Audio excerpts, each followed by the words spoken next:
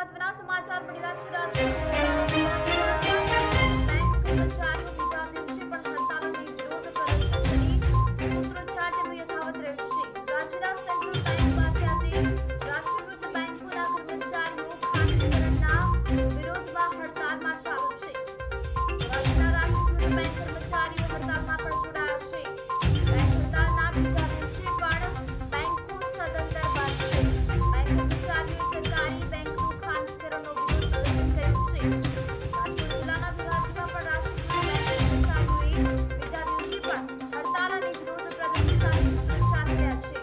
જય હિન્દ મિત્રો.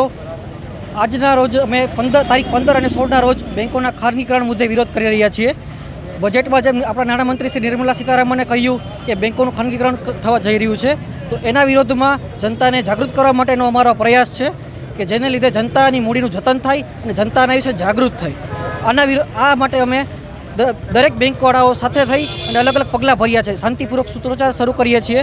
ગઈકાલે ધોરાજી શાખા, ધોરાજીની બેંક ઓફ બરોડા ખાતે અમે સૂત્રોચ્ચાર કર્યા હતા અને આજે સેન્ટ્રલ બેંક ઓફ ઇન્ડિયા સાથે, ઇન્ડિયા ખાતે ભેગા મળી અને સૂત્રોચ્ચાર કરીએ છીએ.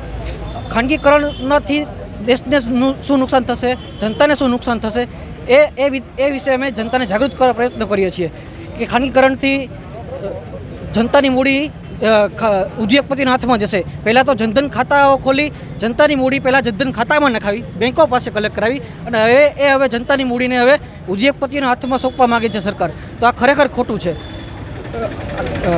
સરકારી બેંક એક સામાન્ય લોકોની બેંક છે. જ્યારે ખાનગી બેંક એક ખાસ લોકોની બેંક છે. ઓગણીસો ઓગણસિત્તેરમાં જ્યારે બેંકોનું રાષ્ટ્રીયકરણ કરવામાં આવ્યું ત્યારે ઇન્દિરા ગાંધીનો હેતુ પણ એ જ હતો કે ઉદ્યોગપતિઓનો કેટલાક ચુનિંદા લોકોની બેંક ના રહે. પરંતુ એ વિસ્તૃત ફલક પર વિસ્તરે. અને અત્યાર સુધીમાં ત્રીસ કે ચાલીસ વર્ષમાં બેંકોએ કરી બતાવ્યું છે કે જે પહેલાં મૂડીવાદીઓ, સામ- સામંતો ખેડૂતોનું શોષણ કરતા હતા, એને અટકાવી અને મામૂલી દરે કહો તો અત્યારે તો ઝીરો ટકા વ્યાજ કૃષિ ધિરાણ મળે છે, જે ખાનગીકરણથી અટકશે. સર્વિસ ચાર્જના નામે તગડો ચાર્જ વસૂલવામાં આવશે. ઉપરાંત કે જે જનધન ખાતા જેવી સુવિધાઓ જે વીમા યોજનાઓ છે, એ સામાન્ય જનતા સુધી નહીં પહોંચી શકે. ગામડાઓમાં શાખાનું, શાખા બંધ થશે. આ લોકો, આ બધા ગેરફાયદાઓ જનતાને થશે.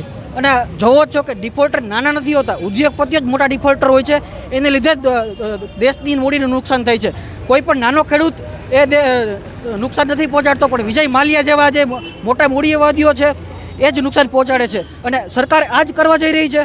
તો આના માટે જ અમે જનતાને જાગૃત કરીએ છીએ કે તમે એક થાવ અને તમારી જ મૂડીનું જતન કરો. અને બધાને જાગૃતિ ફેલાવો. એ જ અમારો પ્રયાસ છે. યુએફબીઓ આ જ પ્રયાસ કરી રહી છે. અમે